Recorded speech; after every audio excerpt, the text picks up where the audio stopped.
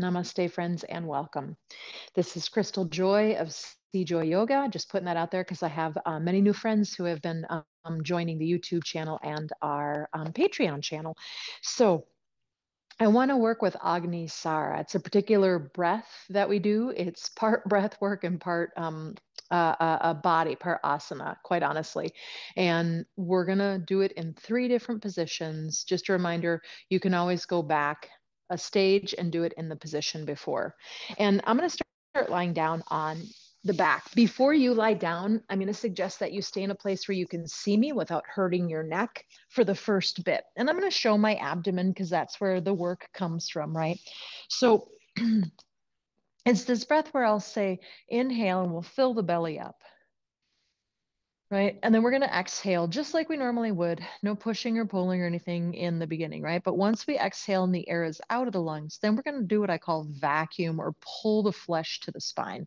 And that looks something like this.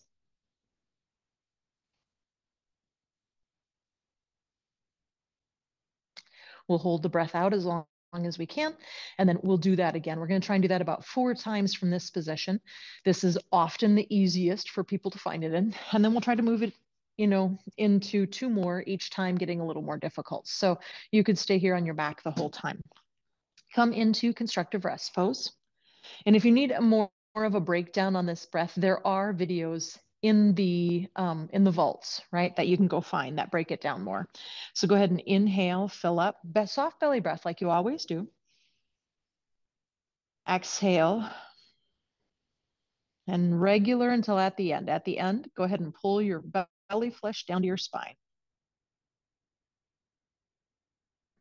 Try to hold the air out as long as you comfortably can and inhale.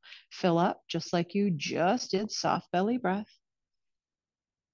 And again, it starts a soft belly breath at the beginning of the exhale. And then once the air is out, go ahead and vacuum that belly down towards the spine also called hollowing out the abdomen. There are many ways it's talked about.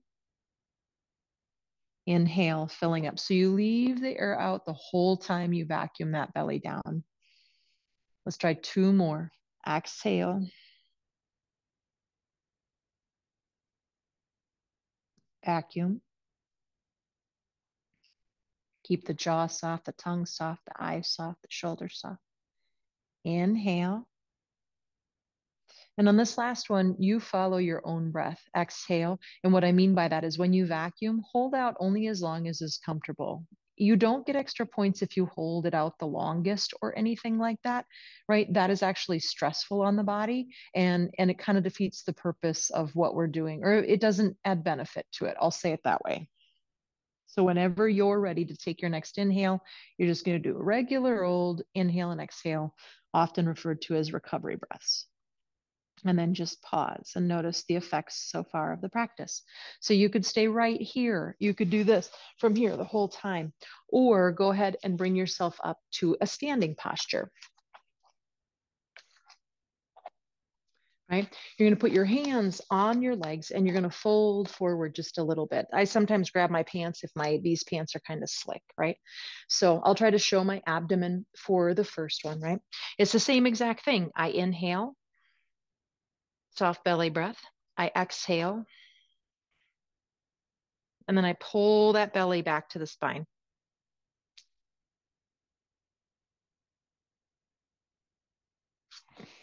I hold it out as long as I comfortably can and then inhale. Here we go.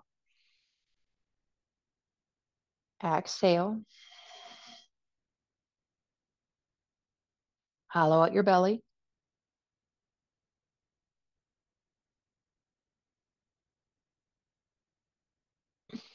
Inhale. Always try to inhale before you get that vacuum effect where you're like, right? Exhale. Hollow out the belly.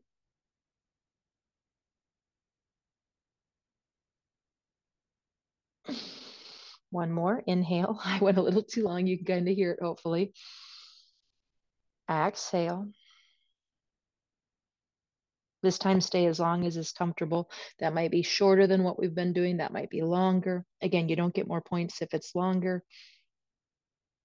and go ahead and come on up to standing. Take a couple of recovery breaths. And again, I'm just going to keep my belly showing so you can see the last position we're going to try it in is downward facing dog. Now, we haven't done prep into this, right? So if downward dog feels like too much, do one of the other two.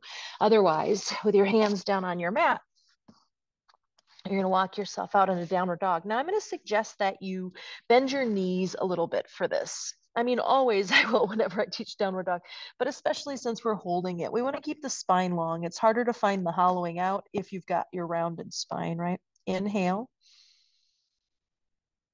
Soft belly breath, exhale. At the end, hollow out your abdomen. Obviously, there's work to be had, keeping everything else soft. Inhale. and exhale. Hollow out the abdomen.